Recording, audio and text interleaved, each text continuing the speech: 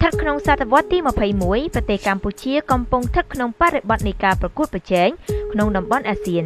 យុវជនគឺជាធនធានមនុស្សដ៏មានតម្លៃប្រកបដោយសក្តានុពលភាពក្នុងការចូលរួមអភិវឌ្ឍសមត្ថភាពខ្លួនឯងផង សង្គមជាតិផង និងសហគមន៍អន្តរជាតិផង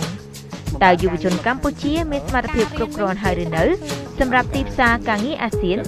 តើអ្វីខ្លះជារបាំងឧបសគ្គដ៏ធំបំផុតសម្រាប់យុវជនកម្ពុជា កម្មវិធីពេលនេះនៅស្រាវចម្ងល់របស់លោកអ្នកដោយវាគ្មិនចំនួន3រូបដូចជាជនរបស់យើងគួរតែពង្រឹងទៅលើ soft skill លោកដូចចំណានអ្នកពិគ្រោះយោបល់ផ្នែកជ្រើសរើសបុគ្គលិកនៃក្រុមហ៊ុន HR in Cambodia យុវជនកម្ពុជានឹងកំពុងតែឈានទៅដល់កម្រិតមួយដែលយើងអាចនិយាយបានថាកញ្ញាស៊ូសូលីដាស្ថាបនិកនៃ Project Inspire ក្នុងតំបន់អាស៊ានយើងបាត់បង់ឱកាសដែលយើងទទួលបាន technology ពេលពេលបង្កើតដំបូងដូចជាកុំព្យូទ័រនិងលោកជីសុខីប្រធានគ្រប់គ្រងទូទៅ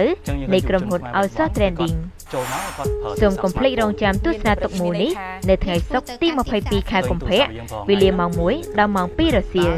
និងមានការចាក់ផ្សាយឡើងវិញនៅថ្ងៃដដែលវេលាម៉ោង8ដល់ម៉ោង9យប់តើអ្នកកំពុងគិតអ្វីពេលនេះចែករំលែកជាមួយពេលអ្នក